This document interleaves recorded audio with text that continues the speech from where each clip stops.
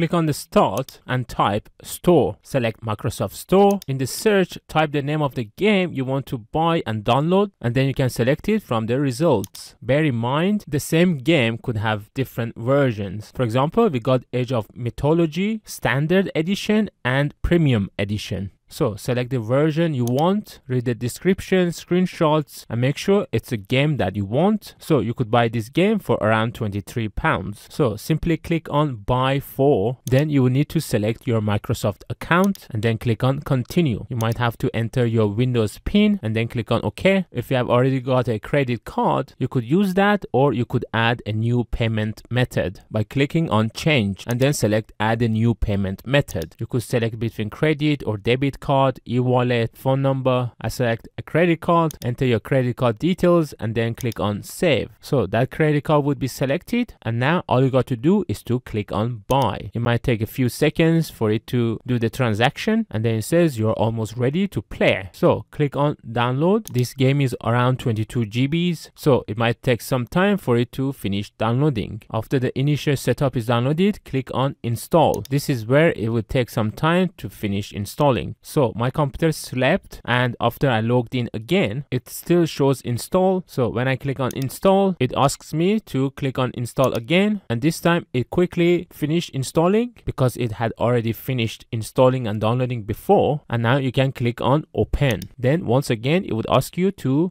select your email ID and then click on continue. Then it will log you in into Xbox and would ask you a few privacy and setup questions. And finally, the game is launching. But before then, you would need to allow a few apps that your Windows firewall might be blocking. It's a bit weird that the publisher is unknown even though this game is from Microsoft. Nevertheless, I know it's from the game that I trust, so I clicked on allow. Now the game goes in into the full screen, do the initial usual setup, code of conduct, and now finally we can play.